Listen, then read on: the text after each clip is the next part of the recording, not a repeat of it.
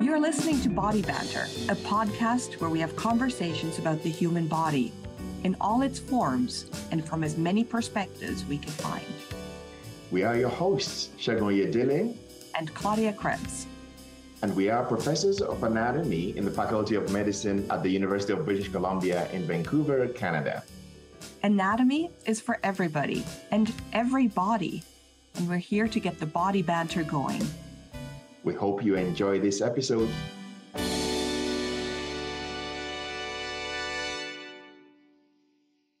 Hi, everyone, and welcome to another episode of Body Banter. I, my name is Claudia Krebs, and I'm joining you from the traditional, ancestral, and unceded territory of the Musqueam, Squamish, and Tsleil-Waututh Nations, also known as Vancouver, Canada. And I'm joined by my co-host, Segun. Hi, how are you? Hi, Claudia. Hi, everyone. Uh, my name is Segun Oyedele, and usually I am situated in Kelowna, which is the traditional ancestral territories of the Syilx Okanagan Nations. Uh, but I am also joining you from Vancouver today. And today we have a guest. Um, and I would like Tara to introduce herself. Hello, Tara. Hi, my name is Tara Gaertner. I'm a second year resident in psychiatry at the University of British Columbia. And I don't know if you want me to say more about my background. I have a background, I guess, in neuroscience and music uh, before studying medicine. And I spent uh, many years studying neuroscience and doing research. And then also after that, many years uh, teaching music to young children. So that's where my interests in music and the brain have come from. Tara, it's so wonderful to have you here on the podcast. We met when you were a medical student um, mm-hmm. in the neuroanatomy labs. And of course, you had been teaching other neuroanatomy labs in the program. So we've known each other for quite a while. Um, mm-hmm. And you came to me to do a flex project at the time, which was to continue work on your book, which is all about the developing brain and the impact on of music on that developing brain. So, music and children, exactly your background, right? Like those years of teaching young children and then uh, your neuroscience background combined now with your medical background in psychiatry. I find your story is so um, beautiful and compelling. Tell us a little bit more about your pathway and how you landed where you are now. Sure. I've definitely taken sort of a winding path in my career. So I started out studying uh, neuroscience. I did a PhD in neuroscience at the University of Texas in Houston, and then I moved to Vancouver um, to take a postdoctoral position at UBC. And um, at that time, I had uh, a two-year-old who, who was born while I was in grad school, and um, I remember thinking that I was studying, you know, n- neuroplasticity, studying how the brain changes and develops in the lab, and then I'd come home and get to see that happening in real life in in in uh, you know in my in my daughter's head as she was like discovering the world and learning how to do things and exploring. And of course, we did a lot of music together because it's one of my passions. Um, and then in the end, I decided to I had another child and decided to leave research um, so that I could spend more time with my children. And that was a perfect choice for me. And at the same time, I became interested in teaching music because my daughter, I noticed as two year old, two and a half year old, was loved music, but couldn't sing in tune and couldn't keep a beat. And I thought, well, is that normal or is there something wrong with my child? And and then what you know how do i fix this? You know or will she just you know learn it at, as she gets older? And so all of these things together i started teaching music and started learning about how music develops in in children. And that led me to be interested in music and the brain and what's happening in in children's brain as they learn music. And then i've continued teaching music more and more children and and like all of those kids i could see their their developments as musicians and made me question more and more what was happening inside their heads as they learned all those things and there's so many aspects to learning music. There's rhythm there's pitch there's motor control especially in young children there's so many changes in motor control that happen over you know the the the years that they're learning music. I was teaching kids who are three, four, five, six, seven, eight, nine, ten, and the changes in motor control over those years are, are dramatic.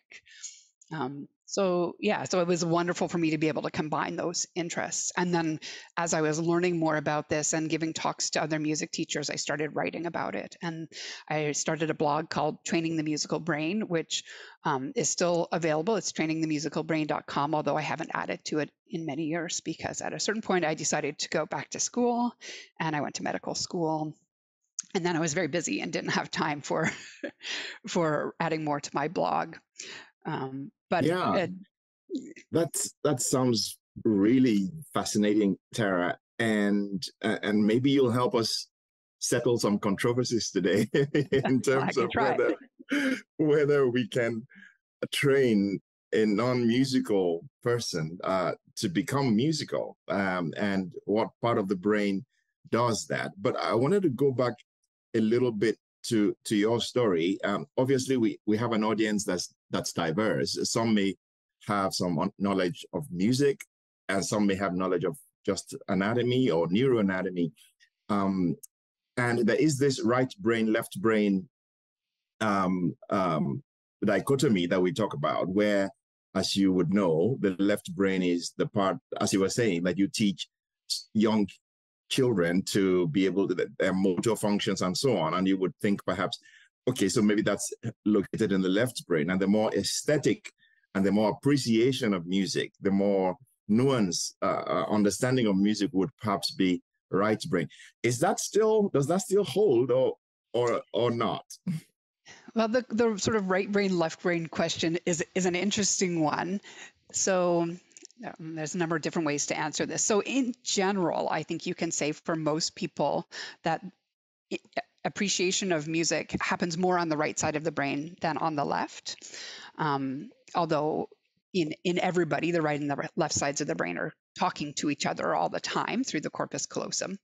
Um, but but certainly when they look at activation of brain when listening to music, that the right side is more activated in pe- in general. Um, however, in musicians, it actually the activations tend to are more equalized between the two sides of the brain, so that musicians tend to use their left brain as much as their right brain um, when they're analyzing or listening to or responding to music. And then certainly the motor control Sorry, go ahead. To jump in there because I find that fascinating. I would have thought that the bilateral activation in musicians would be while they're producing music, but you're saying that's while they're listening to music and appreciating music. So a musician has a completely different way of analyzing and sort of appreciating the sound from a layperson. What what why? Why is that? Yeah, I mean, to me that makes sense that, you know, when a somebody who is not musically trained hears music, they I mean, I guess I would say that they're just listening to music and they're hearing it, but they're not doing any kind of like analytical processing of music in a sort of a cognitive way. Whereas somebody who's more trained in music might be listening and thinking, oh, now it's going to a five chord and then that's going to resolve. Oh, it actually didn't resolve. It went to a six. Like, so maybe analyzing the harmony or, or understanding that the rhythm is in three, four rather than four, four that, you know, so different kinds of meters. And so there's more cognitive comprehension of what's happening in the music for somebody who's musically trained than somebody who's not. That's one aspect of it.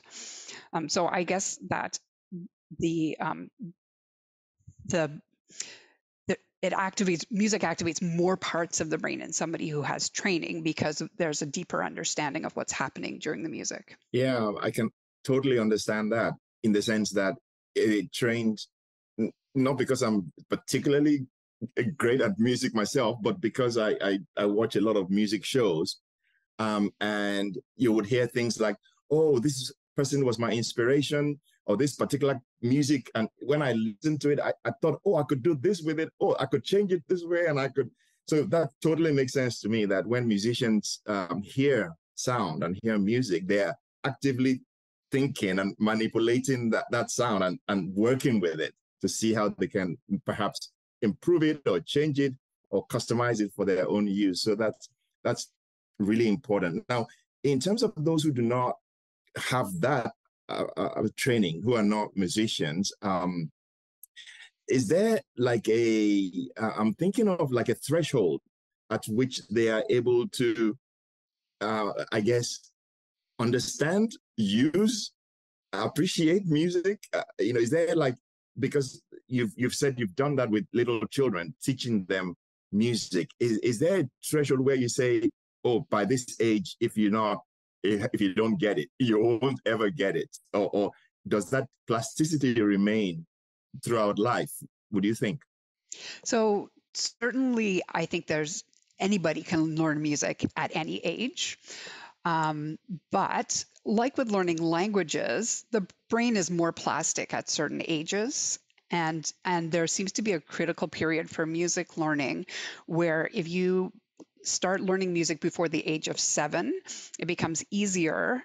It's easier easier to learn and and if we look at the brains of people who start musical training before seven, we see differences that are not present in people who began their musical training after the age of seven.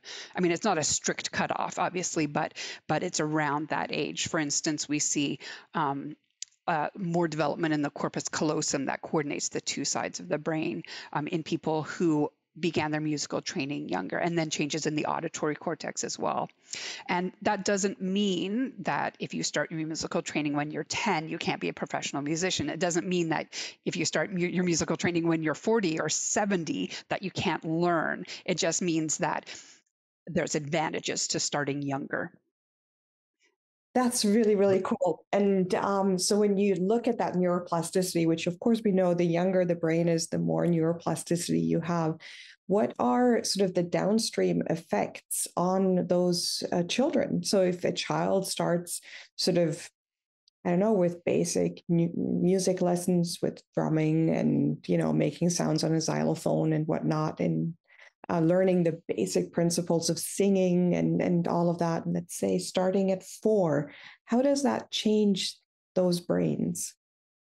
I'm trying to remember the exact changes, like the physical changes that they see. There, there's some studies that have uh, looked at structural changes in the brains, and some of them are a little bit of a chicken and egg question. That if you take, you know, professional musicians and you look at their brains, you can see that they're different um, from from people who are not musicians. But then the question is, well, are they professional musicians because their brains are structured in such a way to give them those extra strengths in in the skills that they need? But there's been other studies that have looked at um, that have taken young children and given them like three years of music lessons and done done um, MRI scans before and after, and then looked to see compared with a control group that got, you know, uh, I forget what the control group was, like dance classes or some other some other class, but not the classes. Um, and they have seen that there's increased connections within the corpus callosum, changes in the auditory cortex. And I'm afraid I'm blanking on what the other connection, the other changes were. There were there were a couple of other things, but I think those were the biggest ones. Um, and then that seems to correlate with um, with an ability to to to recognize pitch better in in in children who have that younger training. And I, I always feel like that I can use that as a bit of an excuse that my, I always feel like my weakness as a musician is that my ear is not very good. I'm like, just like that fine grained tuning is not, is not what I would want it to be. And I didn't start my musical training until I was 10. So that's why, I mean, I think there's a genetic component there too, but which we could also talk about. But, but that, I think that early musical training is uh, it's an advantage. That's that's so um, fascinating to to hear. So I'm wondering about people who we would say are gifted. So I actually have two questions.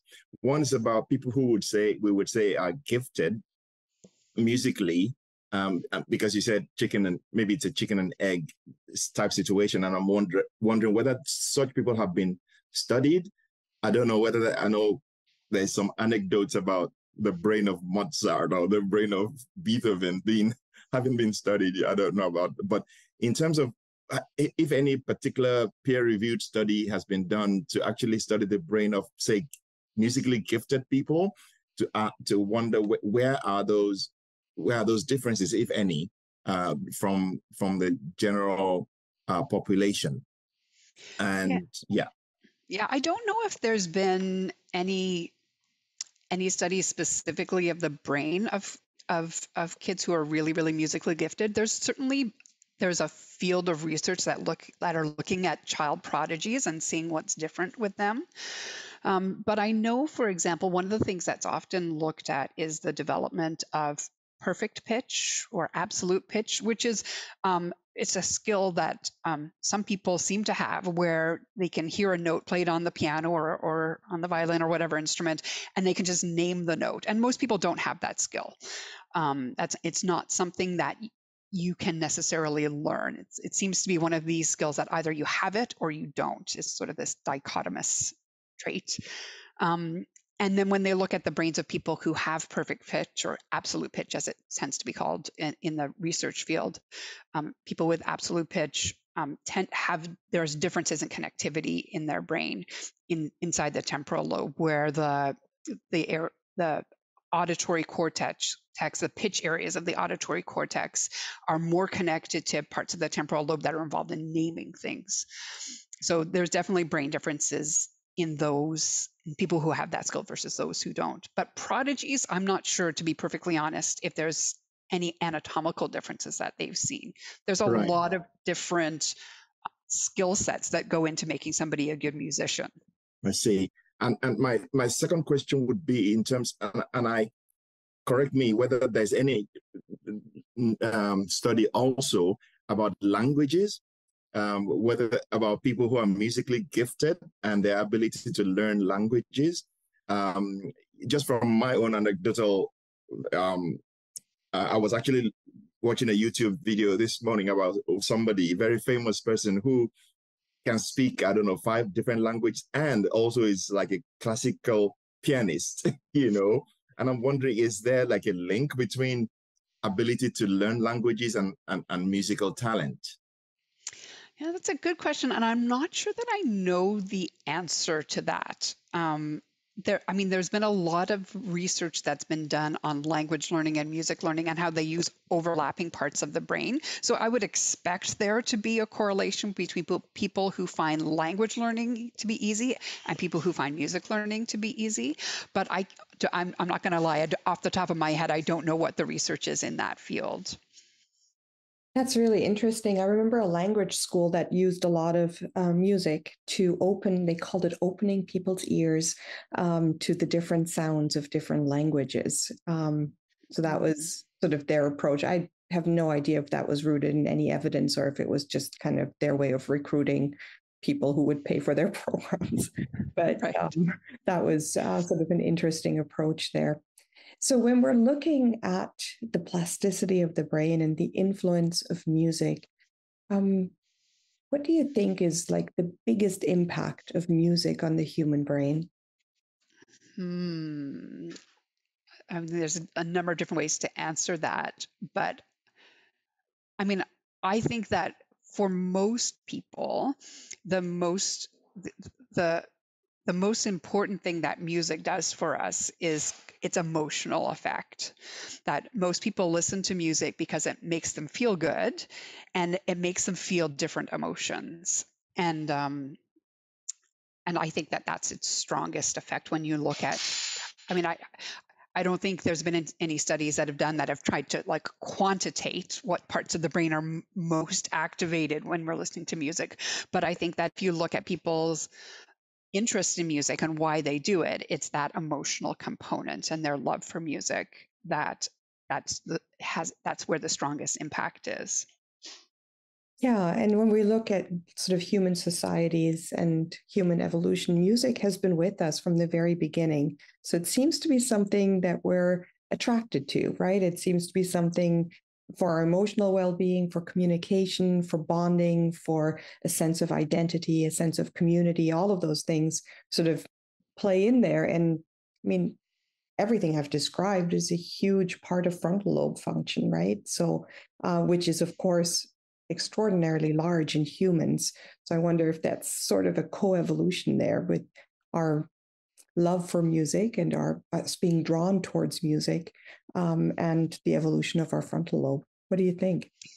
Yeah, that's interesting. I've never really thought about it in those terms um, because we tend to think of the emotional parts of, of our brain as being sort of lower level limbic system that are like less recently evolved, but certainly, um, you know, other animals have those parts of the brains and they don't necessarily get the same type of enjoyment from music that we do. Um, there's a lot of theories about um, the evolution of music or its its use in our societies as like as you were saying as part of a bonding experience and so there's a lot of research going on that looks at how making music um, in groups and and moving to music in synchrony is a way of increasing bonding and how that um, brings groups together. And i think that that that in that way music has a very important role in our society now. And could be harnessed to help people who feel like they're lacking in community. And i think that's many people. So working in psychiatry now i'm seeing lots of people who feel disconnected um, from the world who don't feel like they have a community that they're connected to. And I think that um, that so I'm starting to do some research that are lo- looking at the the benefits of group singing for people, um, and I think that there's a lot of promise there that you can get people to sing together in a choir and that gives it gives this kind of group cohesion in a way that other activities don't necessarily do that's absolutely fantastic I mean, really wonderful to hear. I have a colleague uh, when I used to work in South Africa, and uh, she um, specializes or specialized in music music therapy, where she uses music. Um, you know, and, and being a psychiatrist, I, I'm really curious about your your opinion about that. But she uses music um, usually about she works with children with a mental disability and and she has some fascinating results where she's able to calm calm children. Um, she's able to you know, and she's a very very good pianist as well, and and and just affect behavior, you know, by just you know the music she plays. And so I'm really curious. I mean, based on what you just said about music being used to kind of modify group group behavior maybe it works at the individual level as well. Uh, do you have any opinion about that? Well, definitely. There's a lot of evidence for music therapy, especially in, um, I think, calming people or in activating people, depending on the type of music that's used and the type of activity that's used. I mean, if you can think back to sort of like the the maybe more sort of primitive or basic uses of music like the lullaby for example you know like it's been you know many you know thousands of years kind of thing that people are singing lullabies to their babies to calm them and to get them to, to sleep. Um, and so that's music therapy builds on those same sort of primitive uh, ways of using music. And certainly we see that there, there's studies that have looked at the effects of music listening on on people and they can see that if that calming music tends to decrease heart rate decrease breathing rate decrease cortisol levels and that's just music listening. And those studies raise a lot of interesting questions about you know you can't necessarily say music listening in general will always decrease heart rate because it depends on the type of music. So those studies are difficult to do because they involve a lot of sort of subjective evaluations of what music to pick when you're doing those things. And, and um, different studies might use slightly different music and then get slightly different results. But in general, calming music is going to lead to those sort of calming effects on the body. There's so much bias in this as well. I remember a study that they did on rodents where they exposed one group of rodents, I think, to Metallica or, and, you know, what was termed as disruptive heavy metal or whatever, and then one group to like soothing Mozart music. I mean, there's non-soothing Mozart, but they took took the soothing Mozart. Um, and then they found differences, but then it turns out they treated the rats completely differently as well. And so, because they had a bit of an agenda, I guess, to uh, discredit the heavy metal music. I don't know if you heard about that study, but I, not that one in particular. I mean, I, there's a study I read recently where they took rats and stressed them. They they subjected them to this chronic stress protocol and then played them. They half of them the rats got Mozart. Or it might have been mice. I can't remember, but but the ones that listened to the Mozart did not show the same kind of anxiety behaviors that the the ones that didn't have the music did. And I thought, well, that's super interesting. I wonder what's going on there. There was no um, talk about mechanism in that paper, like why, how is the music um, causing these effects? But I, I also thought, well, I'd like to see this replicated before I put too much weight on it. And yeah, do you have any opinion about white noise? Uh, just because I I have friends that swear off white noise that that's um and I actually you know if people close to me use that with their kids to kind of put them to sleep or, or you know calm them and so on and i'm wondering what's the mechanism of that? How does just just noise really not noise but you know just like continuous hum like a humming sound in the background is able to um, to affect people, help them sleep, and so on. You know, that's not strictly speaking, that's not music, but you know, do you have any opinion about that? I, well, yeah, it's interesting because it's not that's not music, but it has this. It's ha, has some features that overlap with music in that it's like an auditory stimulus, right? So it's activating our auditory system. Um, and I've, I've heard mixed things about white noise or about hum, like that people find it soothing, but that other people can find white noise quite distracting because you can hear patterns sometimes in the white noise, and people can find that quite disturbing.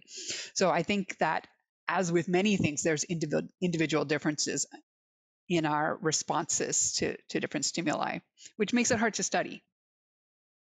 Absolutely. And it, I think it also goes to uh, sort of the point that we're really good at looking for patterns and finding patterns, even if they're not supposed to be there.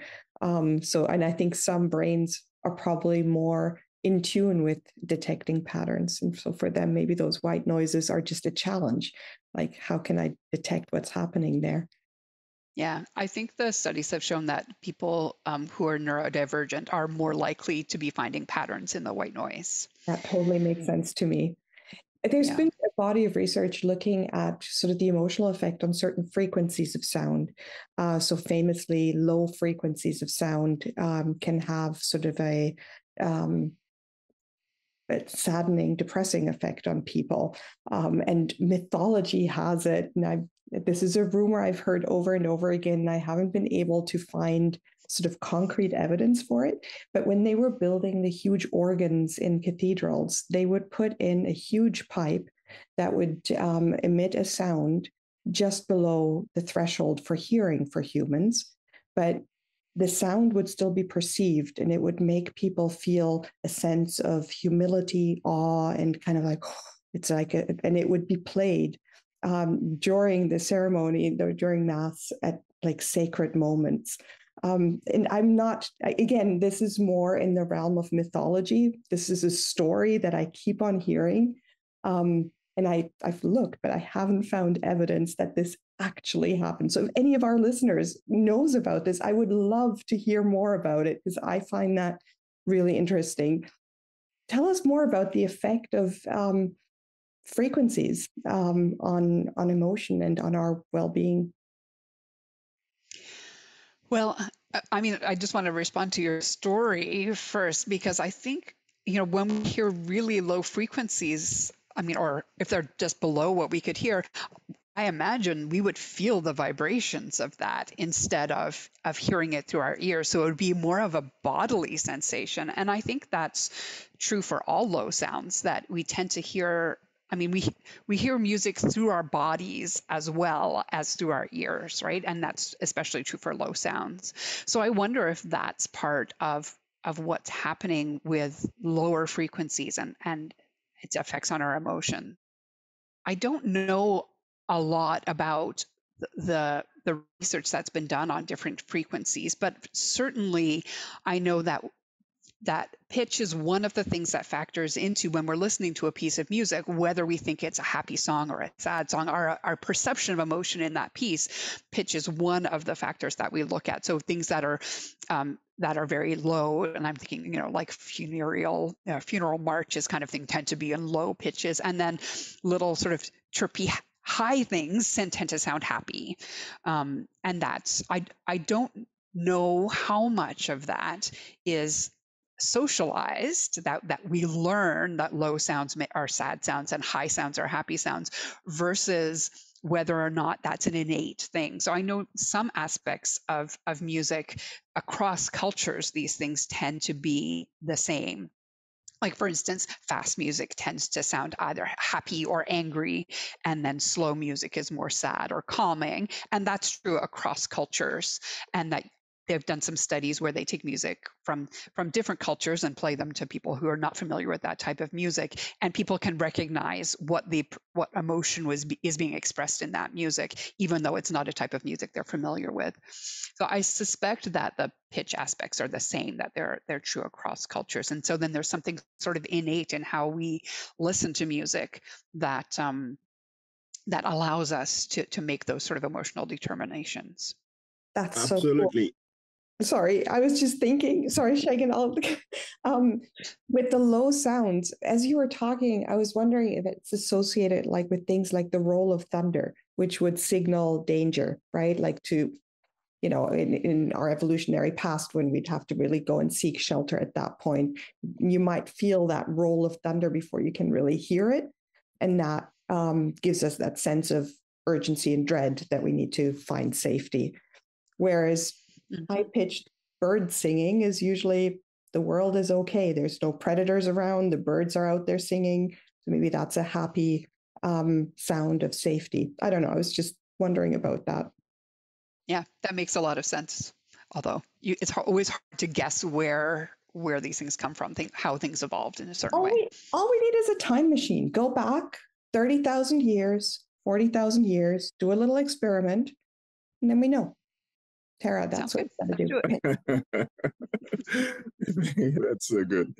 Um, just kind of rounding up on on this now. We, we um, just I'm going to give you a, a little heads up because we like to ask our guests about their favorite body part. Since this is body banter, uh, we like to ask you know our guests to tell us in their experience, in their learning, in their research, or in, as a personal preference? Do they have a personal, uh, a favorite body part? But uh, I just wanted to comment a little bit on the pitch uh, uh, discussion that we're having because I watch a lot of sports, and part of sports is the national anthems, and it's fascinating to me how between East East Mediterranean and, and Asian countries, their anthems are completely different to say Western countries versus Latin American countries that are high pitched and fast and very, you know, um, rallying kind of music. And and and you're you're right. There must there's something to that in terms of how social um the, the socially learned uh, parts of just out of life contribute to those different uh, uh ty- types of music that that different nations um, hold up as symbolizing their nationhood and their national character. Mm-hmm. Yeah, that's interesting. I mean, certainly every, you know, while there are some similarities for sure in terms of, of music across countries, in terms of what aspects of music portray different emotions, there's obviously huge differences in in kind of the character of the music of, of each different country of the different cultures. Um, but certainly the, this kind of anthem idea of music that's one of the the sort of characteristic uses of music is to to provide a song that gr- pulls everybody together right so a song something that people can be proud of and feel that represents their their group um, I guess it's similar to when people used to be like, you know, going into war, there were the trumpets would play the war song or there would be a war chant. And so it's that same way of bonding people together. Well, that's what you were saying earlier, right? How um, the singing together can give us that sense of connection and community. And that goes to your research project as well, where you're taking folks who feel disconnected and putting them into an environment where they sing together. I used to sing in a choir, and I still have really, well, very emotional memories of how beautiful it is to stand together and uh, create beautiful music with our voices and that that critical moment when you know the altos the sopranos the tenors the basses all singing different notes and they all merge together into one experience um, it's it's beautiful. I mean, there's, you know, like when you, and I mean, you have the same, of course, in an orchestra, um, but there's something about making the sound just with your voice that is quite transcendent. Yeah, I agree because I've been thinking about this. I play in an orchestra these days. I play in an orchestra called the Vancouver Pops, and there's uh, there's an orchestra and choir, and so sometimes we play with the with the choir, and and I think that singing in a choir is gives a different social experience than playing in an orchestra because I've uh, certainly sung in choirs in the past as well. And I can see that even within this one group which tends to have you know people the orchestra and the choir tend to have people who are sort of similar demographics similar ages similar interests in music but the choir, they seem really bonded and very sociable amongst each other. And the, the, orchestra, not quite so much. And I think it has to do with that idea of everybody's singing in unison, whereas in orchestra, there are lots of different parts going on at once. We're all kind of doing different things. It all fits together, but it's all different music. Whereas in the choir, they tend to be singing much more, even though they're singing notes, they, they're making the same movements and the same the same words at the same time. So there's that synchrony is is there a lot more compared to in an orchestra. So that I'd love to study that. That's so interesting. And I think another aspect could be that in an orchestra, um, it's you through your instrument making music, whereas in a choir, it's just you right? Like yeah. using your voice. So it's much more direct. Um, like when I'm playing my instrument, I'm kind of struggling with the strings and my finger position and reading the music while also contributing to something. Whereas with singing, it's much more direct. But I'm not very good at my instrument. So that there's that. I think if you're very good, then the instrument just becomes an extension of yourself. And that might be a much more visceral experience for those folks. Yeah. Yeah, I think that's that's probably true because as you were saying i was thinking i think mo- most of the time when i'm playing i feel like I, am not struggling. I mean, there's definitely hard bits in my music that that I struggle with, and I'm thinking about what my fingers are doing. But a lot of the time, it feels like I, it feels like I'm singing through my instrument. Of course, because you're very good at what you're doing, right? And I think that's true for all professional musicians. It becomes an extension. Yeah. So, okay, mm-hmm. that's a me problem, not a universal problem well i think it's not it's not entirely a you problem. Definitely there's i think for every musician every orchestral musician there's parts where we're working really hard. But i think that's probably true with singing as well that that that's true. Yeah. your instrument is your voice and there's parts where you're struggling with with getting the right notes and getting it to sound the way you want. That's true. Right. You two musicians need to give us a break Um, it's one and a quarter musician at most here. I guess what I'm learning uh, from you, Tara, is that there's there's lots of good that music um, has done and is able to do um, with with people um, in terms of teaching them, I guess, uh, community, um, helping people uh, develop some skills that they probably did didn't know they had, and um, and and you know just building social cohesion uh, i guess uh, that music has been used to do and perhaps is still being used to do. Uh, but also in the fact that there's so much more to learn that there's so much research that's still possible uh, uh, about um, some of the questions that we've raised today the, the parts of the brain involved um, the plasticity uh, question the different types of music um, and, and actually designing an experiment that will really be, actually come up to the standard of peer review um, might be is really challenging when it comes to music. Um, mm-hmm. So if there's a lot yeah. to consider. Yeah, yeah certainly when I started studying this field of music and the brain, I guess almost 20 years ago and now, I really started diving into it. And it seemed at that point like this is kind of like a manageable field. There's a bunch of different questions, but it's, you know, I, I could read about everything in this field. And then in the last 20 years, it's exploded. There's so much research going on now. It's fascinating, but I find it hard to keep up with everything for sure. Well, I'm glad that the field's exploding because I think it's such an important thing to study um, because of all the beneficial effects of music that we're seeing. And I really look forward to hearing more about your study um, in uh, in your patients who are struggling with um, psychiatric illness and who may hopefully benefit from these interventions, which seem um, low barrier uh, as opposed to you know a lot of other interventions that we um, may have to do in, in patients with mental illness. Yeah, absolutely. I think there's a lot of promise here. So, coming back to my question, Tara, what's your favorite body part? Oh, that's such a tricky one. And to be honest, I, I should hmm, I should have thought more about this because there's so many good body parts. But I think maybe because we've been, you know, just talking about playing the orchestra, I play the flute. Um, and one of the body parts that is used so much in playing the flute is the tongue. So I maybe I'll pick the tongue because it's actually such a I mean obviously I feel like maybe I should have picked part of the brain. But but the tongue is so cool because it it can do so many things. We don't think about our tongue as much as we much as we use it, right? The things that it can do in our, you know, speech and then in music in music where I'm using my tongue so much to play the flute and it does very interesting things. That is a just, first, I think, for us to have the tongue as the favorite body part. And I love it. No, it's not. It's like one of the unsung heroes of our body, right? As you said, it is critical in language communication, taste, sensory experiences. We should all really have a moment of appreciation for the tongue.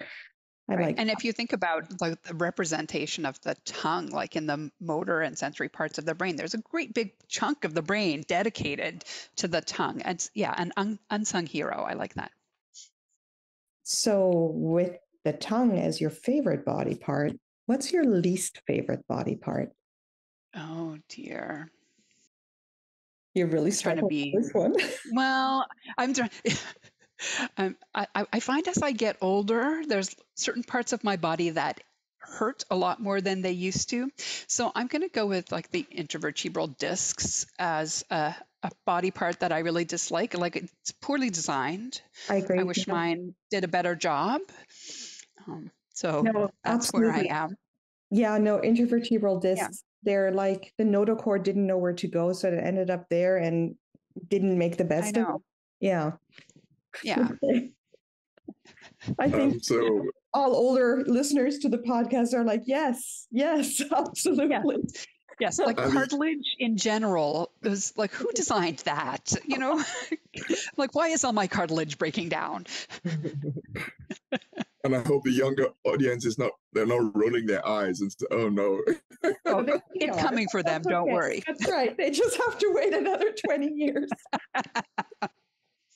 Well, Tara, thank you so much. Um, and, you know, uh, this has been a fascinating discussion. And, um, you know, I just, um, on a personal note, that you were, you know, just one of our students uh, at, at UBC, and now you are out there doing all these wonderful, great things. Uh, just a moment of pride for, for me personally. So, so thank you for all the work you do, Tara. Yeah. Oh, you're very welcome. Thank you so much for having me. Oh, Tara, this has been such a pleasure. I share Segun's pride. Um, this is it's really wonderful to see our students go and and fly and do all the wonderful work that they do. And um, well, I know we'll keep in touch about music in the brain. And I'm going to go and put some music on now. Thanks so much. Thank you. All right. And that concludes this episode of Body Banter. Take care, everyone. Thank you for listening to another episode of Body Banter. We are Claudia and Segun. And we look forward to having you join us for more conversations about the human body next time.